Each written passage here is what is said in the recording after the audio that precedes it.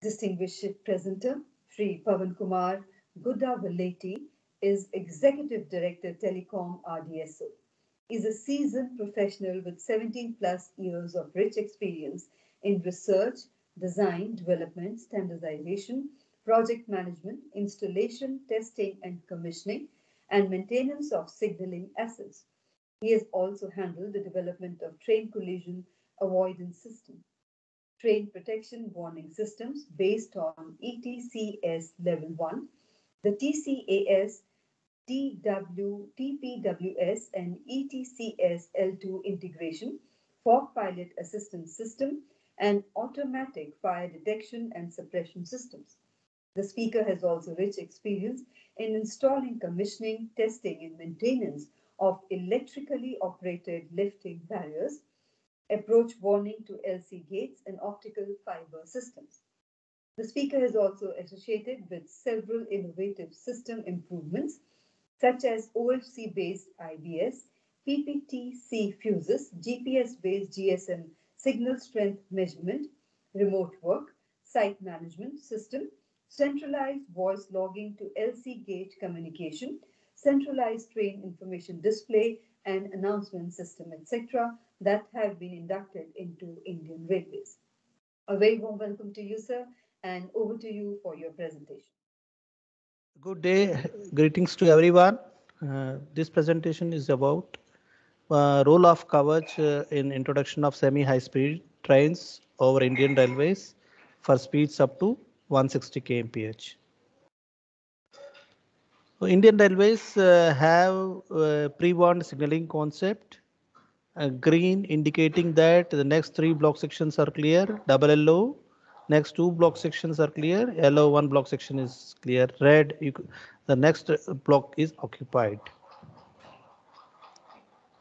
So as the speed of the train increases, the braking distance increases and the visible time for a loco pilot uh, up to 200 meters uh, reduces at 160 kmph, the braking distance is approximately 1500 meters and uh, the loco pilot time to look at the signal, uh, two signals which are spaced 200 meters apart uh, is uh, uh, only around 4.5 seconds.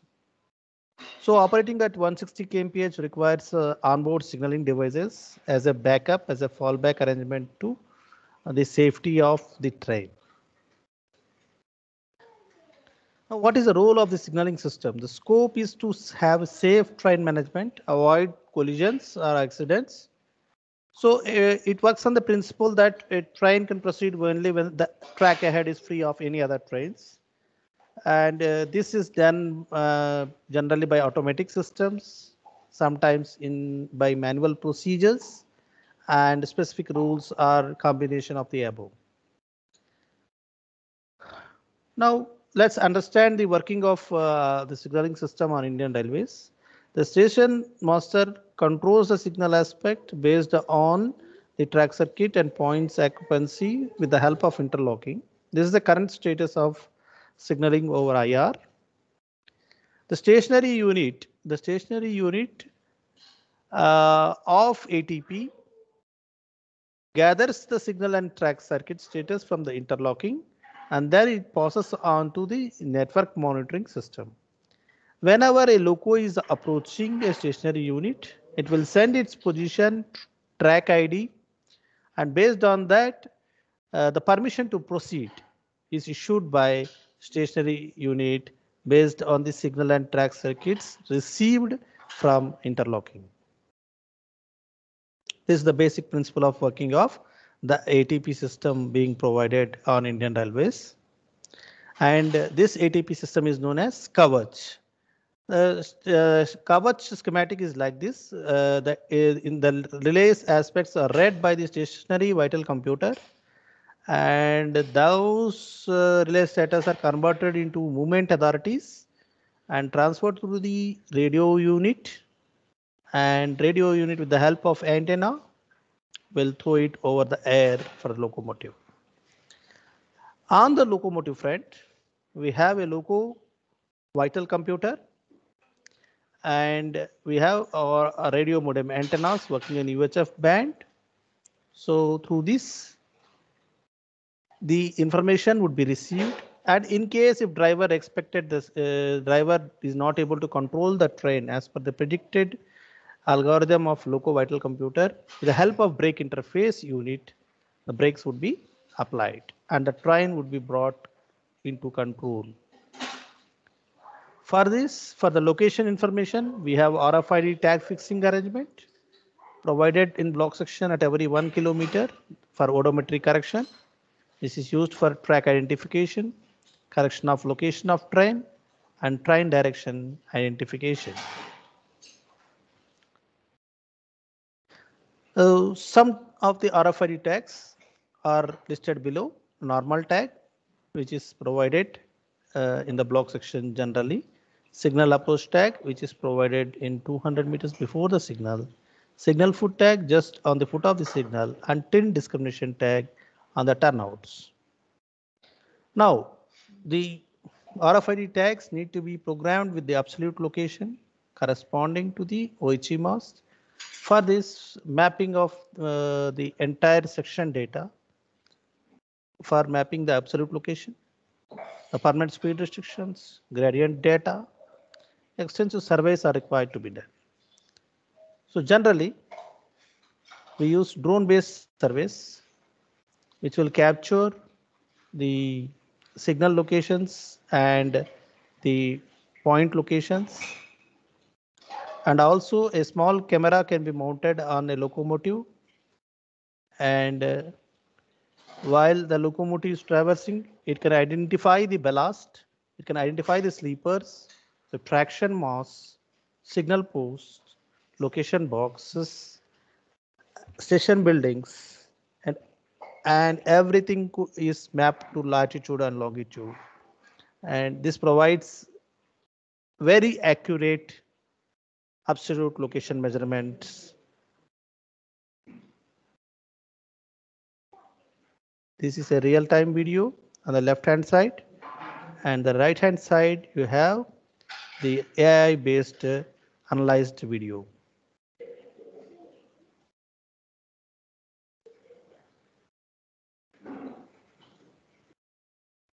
The RFID then with the uh, with the acquired locations, the details are filled in the RFID tags and the RFID tags are positioned on the track as shown in this diagram. Uh, the RFID tags are placed just at the signal, foot of the signal, signal foot tag. 200 meters before a signal approach tag or a normal tag is placed. And at every one kilometer again a normal tag is placed for odometric correction At the turnouts, again a TIN discrimination tag is provided. And each railway is allotted with a, a two digit code so that the stationary IDs are uniform. As you can see, the last three digits of the station are 386 and this particular station BAD belongs to North Central Railway and the first two digits are required to be either 36 or 37 or 38. And each stationary unit ID should be unique. So Kavach is a multidisciplinary effort. It brings down the interaction level from board, RDSO, zone and divisional level. At the mode level, it is monitored by signal and traction directors at additional number level very frequently. At RDSO level, electric loco, motive power, PS and EMU, carriage, track and track machine monitoring structures, traffic interact.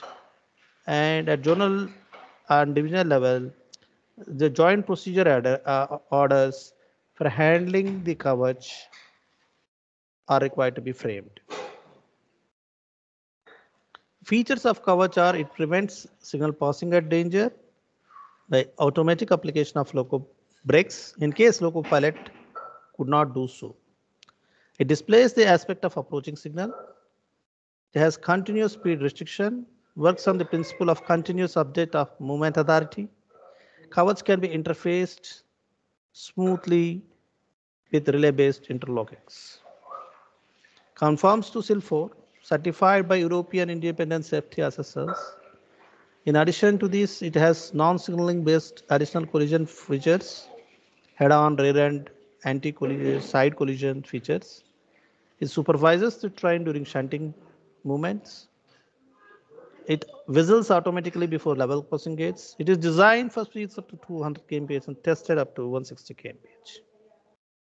Brief history is that the equipment's uh, installation have got completed in 2015 and trials on single passenger trials have started in February 2016 and at the end of July 2021 three firms who made this product indigenously or Indian Railways are approved for speeds up to 160 kmph uh, in automatic block section and absolute block section over Indian Railways. Lot of trials have been done. Around 2.5 lakh kilometers of trials have been done over South Central Railway, one of the gigantic railways of Indian Railways. This is the driver machine interaction screen. It displays the signal aspect with line indication, displays movement authority, the mode, the speed, section speed, permitted speed, train length measurement, target type if there is any target, current speed, and also the target distance. So at 160 kmph, uh, we have done trials for continuous update of movement authority, speed, limit of authority, cab signaling, imposition of PSR, application of braking curves, prevention of SPAD, reading of RFID tags, functioning of radio communication. The braking curves were actually much better than the theoretical based uh, predictions. As you can see in this diagram, this is one of the trial uh, display of DMI for speeds at 160 kmph. Again, the TCAS table of control needs to be designed. It also has aspect of entry signal, requires aspects of exit signal. The distance between entry and exit, this is the movement authority. It also requires the points to be set in the route. So all these things need to be checked properly for the safe implementation of Kavach. The words TCAS and Kavach are, inter, uh, uh, are used uh, frequently. Both do mean the same. TCAS has been recently uh, renamed as Kavach. The auto section trials is uh, a collection of field inputs from midsection, continuous update of movement authority in the block section based on the line side signal aspects and track circuit status. Override in case of automatic signal at danger, communication handing over from station 1 to station A. So these are the various trial scenarios. One of the trial scenarios what we have done for automatic trials. We require remote interface unit uh, to gather the signal status in the automatic block section to bring it bring down to the central location at the station. This part is known as remote interface unit. In the absolute block section, the communication is cut off with station A once it passes the last stop signal and it is made just 1.5 kilometer before the approach of the next station signal. Whereas in automatic block section, the communication is first made with the approaching station and then relinquished with the handing over station for continuous seamless changeover of continuous movement authority. These are the various operating modes or symbols.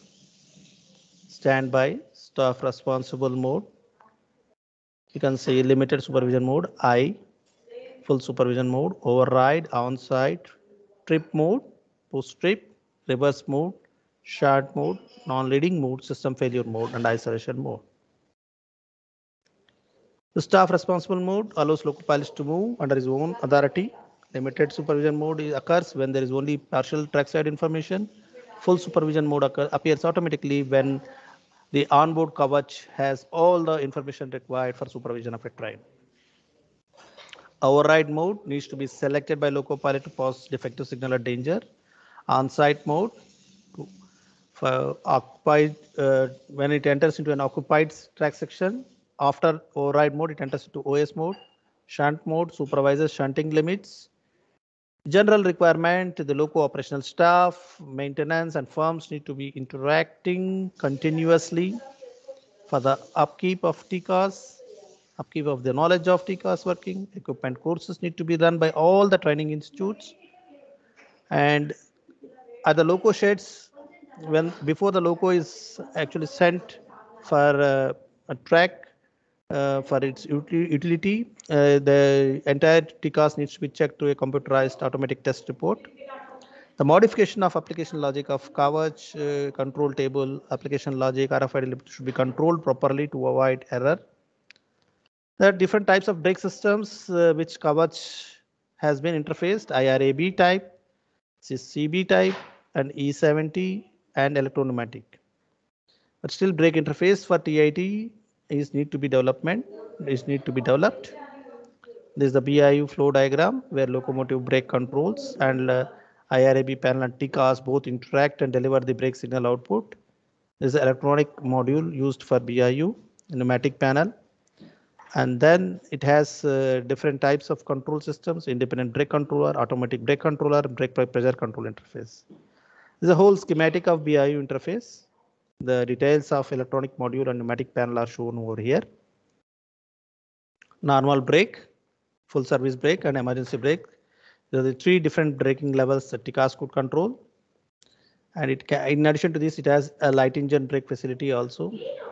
Is BP charging cutout, emergency brake. It records all the BIU data uh, and uh, all the fail-safe uh, mechanisms required for proper interface of braking are ensured by having is cutting cutting off traction while applying the brake, audio visual indication, execution of braking command is ensured and the status is read back by TCAS. BI works parallel to the locomotive system. It doesn't affect the braking characteristics. It can override the loco pilot braking, vice versa. BIU initiated braking cannot be reduced by loco pilot. Manual isolation is possible.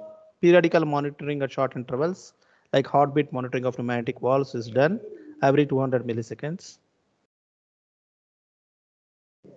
So loss of electric power will reply uh, will result in automatic emergency brake.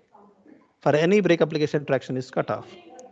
So this is actually a E70 uh, family based uh, brake interface developed you can see the additional module has come up over here. This is a modified interface for interfacing it with Kavach. And for computer controlled brake system, uh, we have additional module installed here that is known as uh, train protection module. And uh, the, these are uh, of uh, uh, suitable for NORBMC type brake systems available for Indian Railways locomotives.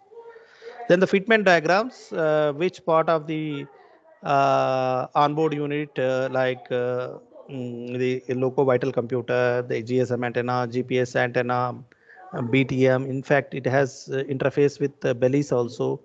Uh, mm, brake interface units, all these, whatever are quoted, are issued in coordination with the electric loco directorate.